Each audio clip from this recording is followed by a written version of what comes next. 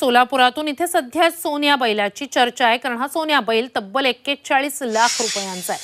सोलापुरातल्या कृषी प्रदर्शनात हा बैल आणण्यात आलेला आहे. या बैलाची उंची सात फूट लांबी नऊ फूट आहे.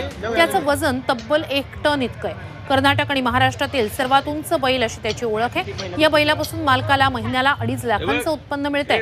या सोन्याचा जसा रुबाब तसाच त्याचा खुराकही आहे. त्याच्या खुराकावर महिन्याला पन्नास हजार रुपये खर्च करावे लागतात.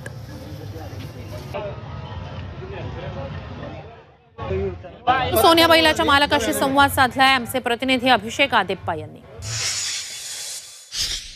कृषी प्रदर्शनाचा मुख्य आकर्षणाचा विषय ठरतोय. तो म्हणजे सोन्या नावाचा हा बैल. हा नेमकं या बैलाचं वैशिष्ट्य काय आहे? त्याचे मालक आपल्यासोबत आहे आपण त्यांच्याकडून जाणून घेऊयात. दादा काय सांगाल? नेमकं काय वैशिष्ट्य आहे? नमस्कार. माझं नाव विद्यानंद आवटी. राहणार उमराणी तालुक्याचा जिल्हा Sangli.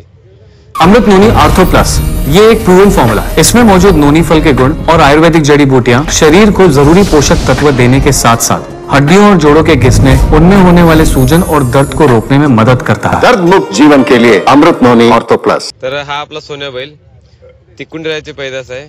कोसा किल्ला क्षेत्रामध्ये सगळ्यात टॉपचा बैल आहे. जास्त लांबीचा जास्त उंचीचा बैल आकर्षक बैल आहे तोंड बिन सगळं एकदम टॉपचं आहे. दिस- दे- दिसायला पण देख नाही. कन्नडमध्ये तुम्ही बैलाशी संवाद साधताय. काय नेमकं? म्हणजे कन्नडमध्ये आम्ही जिथं राहतो कर्नाटक बाउंड्री माझ्या घरापासून चार किलोमीटर कर्नाटक बाउंड्री आहे. तर तिथलं नाईन्टी पर्सेंट लोक कन्नडमध्ये बोलतात. आणि हा बैल जेव्हा घेतला का नाही तेव्हा पण कन्नड मालक पण कन्नड बोलत होता. आणि हा वडील जसं बोल तसं ऐकतोय. Abhishek Adeppa Zee media Solapur.